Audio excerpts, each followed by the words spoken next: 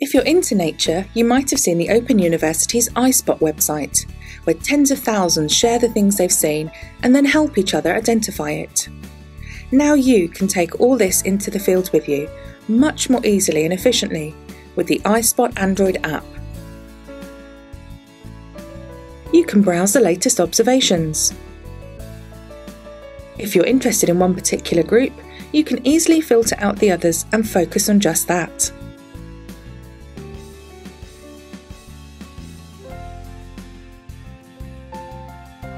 Tap any observation and you'll be able to check out other photos and you'll see a map showing where it was spotted. Maybe someone has suggested an identification for this observation. If so, you can tap on it and see how certain this identification is. There also might be a list of who agrees with the identification that's been suggested. Tap on a username to have a look at their profile, including their observations and also their reputation. How good are they at identifying within the different nature groups? Looking at what someone else has seen is all very well, but what about when you're out and about and want to add your own observations? Tap the iSpot logo and from the side menu, tap Add Observations. From here, you can select one or more pictures to upload, either straight from your phone's camera or from any existing pictures on your smartphone.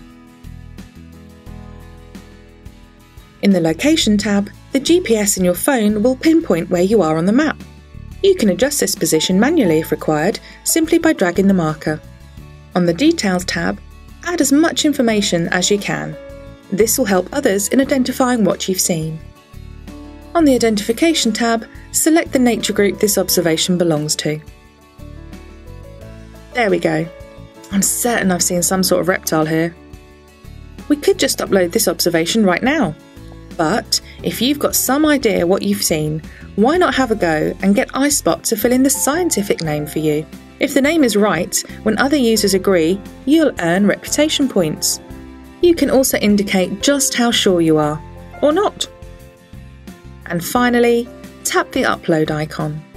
Check your profile and observations later to see if anyone has provided a name for whatever you've spotted. Over 95% of iSpot observations get a name, half of them in less than an hour. In the meantime, you can check out the Around Here feature. Like the name suggests, this shows you what other users have seen near your location. Home in on an observation and you can check out what that user saw. So, has anyone been able to help me identify that reptile?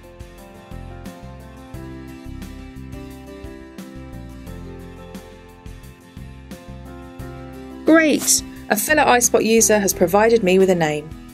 Next time I see it, I can ID it myself and earn some iSpot reputation points.